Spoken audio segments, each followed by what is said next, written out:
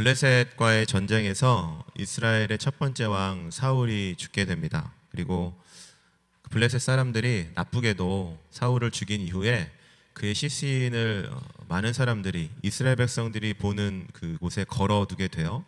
걸어둔 목적은 두 가지라고 이렇게 생각할 수 있습니다. 첫 번째는 하나님을 향한 조롱이죠. 어, 너희가 믿었던 하나님, 하나님의 그 세우신 왕이라고 하는 사울의 이 비참한 말로를 봐라.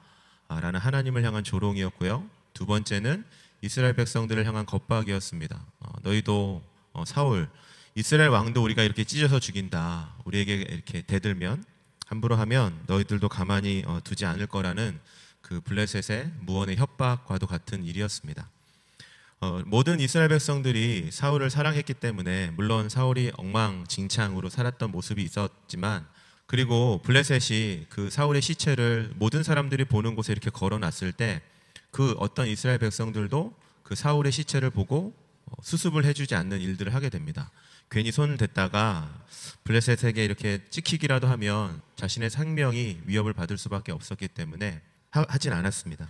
그런데 그 중에 길레앗 야베스, 길리앗 어, 족속 야베스란 사람들이 사울의 죽음을 보고 애통해하고 아, 저 사울의 시신, 사울의 장례를 치러줘야 되겠다. 그래서 모든 이스라엘 백성들이 그것을 다 피하고 무서워해서 침묵하고 있다 하더라도 나는 음, 사울의 장례를 치러줘야 되겠다 하는 사람들이 어, 나오게 됩니다. 어, 다윗이 이후에 왕이 되었을 때 이 소식을 듣게 됩니다. 그런데 여러분 노트에 써놓으세요. 다윗은 사울을 축복한 것을 하나님께 하듯 섬겼다 이렇게 얘기를 했다는 겁니다. 우리에게도 그대로 적용해 볼 수 있는 말씀이라고 생각합니다. 옆에 있는 친구에게 따뜻한 말을 해주는 것, 도와주는 것, 우리는 그냥 친구를 도와줬어 라고 우리가 이렇게 이해할 수 있지만 하나님은 어떻게 보신다고요, 여러분? 하나님을 섬긴 것처럼 하나님을 사랑하고 하나님께 한 것처럼 하나님이 인정해 주신다는 것, 축복해 주신다는 것을 이 말씀을 통해서 우리가 보게 돼요. 그래서 어떻게 보면 하나님의 관점이 되게 우리에게는 새롭게 다가옵니다. 우리는 하나님을 직접적으로 섬기고 예배의 자리에서 무언가를 해야 되는 것이 하나님을 섬기는 거라고 우리가 이해하고 살아가지만 내 옆에 있는 친구, 옆에 있는 친구 보세요. 이놈한테 막 이런 거죠. 얘한테 따뜻한 말이 한마디 해주는 거, 얘한테 그냥 한마디 그냥 조언해 주는 거, 그 모든 말들을 하나님은 그 사람에게 한 일이 아니라 하나님에게 한 것으로 여기가 중요 여러분 저를 한번 따라해 볼까요? 인정해 주신다. 네, 그것이 우리가 이 말씀을 통해서 알게 되는 말씀입니다. 예수님도 비슷한 말씀을 하셨어요. 이 말씀 한번 같이 읽어보겠습니다. 시작.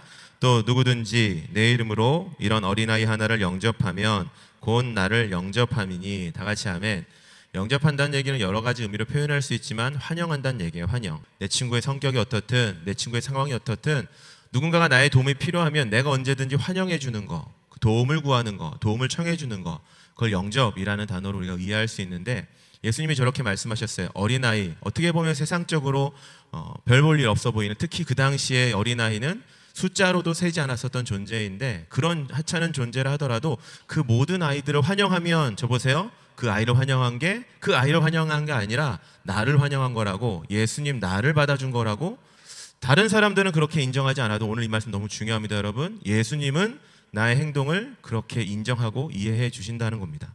그래서 길라 사람들이 어, 사우랑을 그렇게 하나님 섬기는 것처럼 하나님을 사랑하는 마음으로 섬겼더니 다윗이 왕이 된 이후에 길라 사람들한테 이렇게 얘기를 합니다. 여러분 노트에 써놓으세요. 손을 강하게 하라. 손을 강하게 하고 손을 강하게 하란 그 원어적인 단어의 의미는 무엇이냐면 하고 싶은 거 쉽게 해서 이런 거 하고 싶은 거 다 하란 얘기예요. 하나님이 이스라엘 백성들한테 가끔 이 표현을 쓰실 때가 있거든요. 얘들아, 너희가 손을 강하게 해라. 이 말을 들었을 때 이스라엘 백성들이 해야 되는 일은 전쟁하는 거였어요. 정복하는 거였어요. 하나님이 손을 강하게 해라는 말씀을 하셨을 때 이스라엘 백성들이 전쟁을 하면 항상 백점 백패, 백점 백승하는 그런 모습들을 우리가 성경을 통해서 보게 되거든요. 그래서 손을 강하게 하라는 말은 무슨 말이냐면 쉽게 풀어서 얘기하면 이런 거야. 다윗이 왕이 됐거든. 다윗이 이제 권력을 가졌거든. 이스라엘의 모든 비록 지금은 유다족 속의 왕이지만 이제 곧 어, 다윗이 하나님의 기름 부으심을 통해서 이스라엘의 모든 힘을 가지고 살아가는 사람이 길라 백성들한테 그렇게 얘기하는 겁니다. 너희가 하고 싶은 것 다 해라. 오늘 설교 제목으로 풀어서 얘기하면 너희가 하고 싶은 것 다 해라. 내가 너희의 뭐가 되어 줄게? 디딤돌이 되어 줄게. 전쟁을 할 때 어려우면 내가 도와줄 거고 음식이 없어서 겨울을 굶주렸으면 내가 음식을 줄게. 너희가 하고 싶은 걸 다 해라. 네, 하나님이 원하시는 일을 마음껏 하라고 다윗이 이야기를 해 주었습니다. 그 어떤 복보다 가장 큰 복이죠. 여러분 오늘 말씀의 그 가르침은 너무나 단순해요. 길르앗 사람들이 하나님을 섬기는 것처럼 사울 왕 그 죽은 사울 왕의 장례를 섬기고 하나님을 섬기는 것처럼 무언가를 했더니 다윗을 통해서 하나님이 길라 백성들에게 너무나 큰 놀라운 축복을 주셨다는 거죠. 우리 공동체, 어, 우리 등대 교육 공동체 안에는 길라 사람들처럼 그런 사람들이 굉장히 많이 있습니다.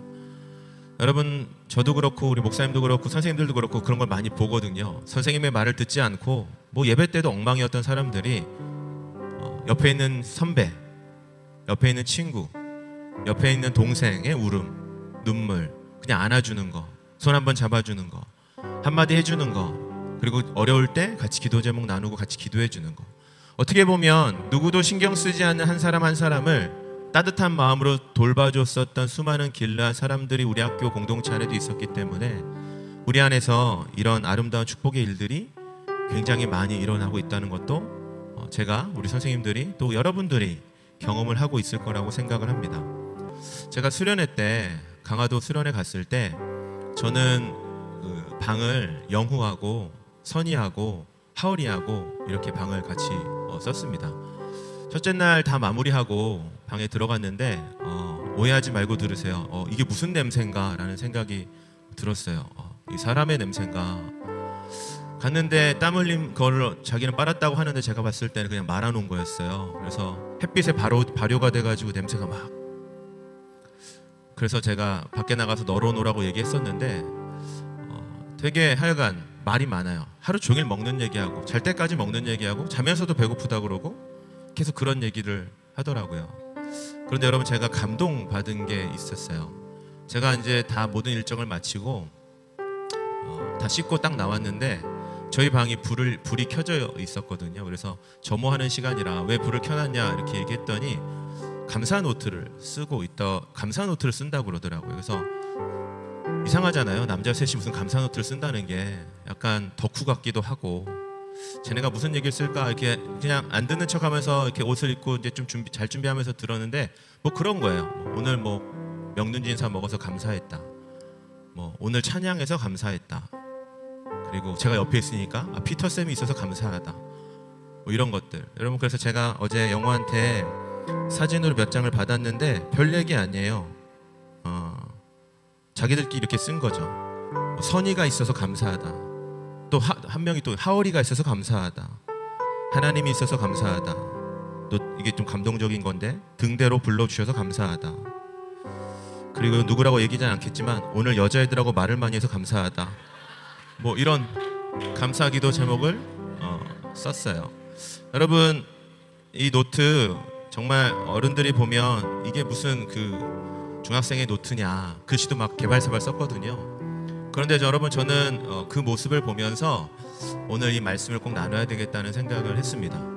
여러분 어떻게 들릴지 모르겠지만 이 세 명의 남자 친구에게 이 세 명의 남자 친구들은 저는 이 말씀을 보면서 그런 생각이 들었어요. 서로가 서로에게 길르앗 사람들과 같은 사람들이다. 어, 교실에서 또 수련회 가서 그냥 자는데 어떤 친구들은 어떤 친구인지 모르겠지만 한 명이 우리 감사 노트 쓰자고 얘기하고 그 친구가 있기 때문에 또 누군가 감사의 표현들을 쓰게 되고 또 쓰게 되고 또 쓰게 되고 그렇게 3박 4일을 이렇게 보내는 걸 보면서 아 저런 것이 바로 길르앗 사람들의 모습이 아니었을까. 작은 것 또 신경 쓰지 않는 일들 그냥 그렇게 지나가는 일들을 가치를 두고 의미를 두고 하나님 앞에 하는 일들이 길라 사람들이 했었던 일이 아닌가. 그래서 이 말씀 그대로 또 이 친구들이 썼던 기도 제목 그대로 풀어서 얘기하면 선희한테 감사한 것은 하월이와 영우가 되는 것이고 하월에게 감사한 것은 영우와 선희가 되는 것이고 또 놀랍고 감사한 것은 지난 학기 내내 잘 기도해도 오지 않다가 또 지난주 기도 금요 기도회에는 또 셋이 이렇게 와가지고 또 기도하는 모습을 보면서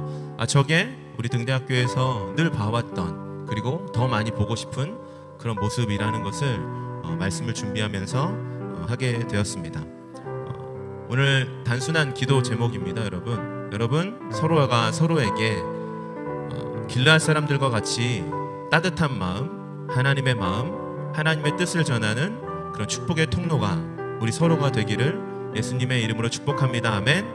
그냥 아무것도 아니지만 반에서 감사 노트 쓰는 거, 그냥 아무것도 아니지만 기도 제목 나누는 거, 그리고 아무것도 아니지만 그냥 방과 후에 한번 기도에 같이 와주는 거, 그런 그런 하나됨, 그런 즐거운 아름다운 마음들이 모여서 다윗이 길르앗 사람들한테 했었던 그 아름다운 축복들이 사랑하는 우리 모든 학생들에게 흘러 들어가게 될 줄 믿습니다. 동의하시면 아멘.